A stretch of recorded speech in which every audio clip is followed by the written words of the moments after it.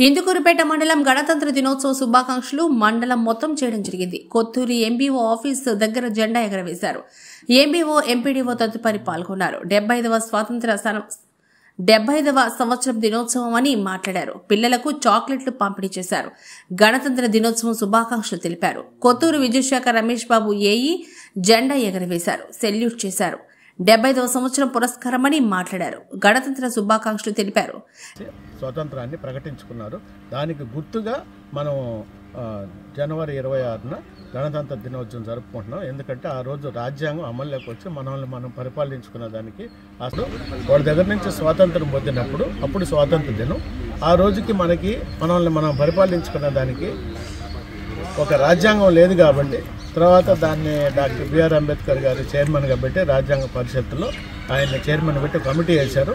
ఆ రోజు ఆయన రెండు సంవత్సరాల పదకొండు నెలల ఇరవై ఎనిమిది రోజులు రాశాడు.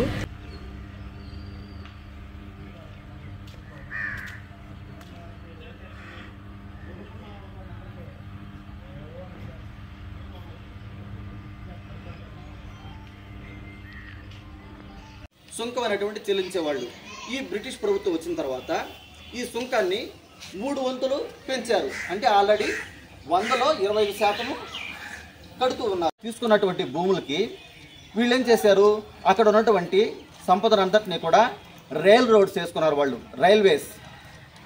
ట్రైన్స్ వేశారు. ట్రైన్ అంటే అర్థం ఏంటంటే వన్ వే రూట్ అంటే అది ఒక దారిలోనే పోతూ ఉంటుంది. దాని మళ్ళీ రివర్స్ అనేది అటువంటిది ఉండదు. అలాగే వాళ్ళు ట్రాక్స్ వేసుకొని రైల్వే ద్వారా వాళ్ళు మన సంపద కూడా దోచుకోవడం ప్రారంభించారు. ఇలాగా మన సంపద అన్నింటినీ దోచుకుంటూ పోతూ అక్కడ ఏం చేశారంటే ఇంతకుముందు ఎవరైనా సరే పొలం చేసుకోవాలి అని అంటే పంట పండించుకోవాలి అని అంటే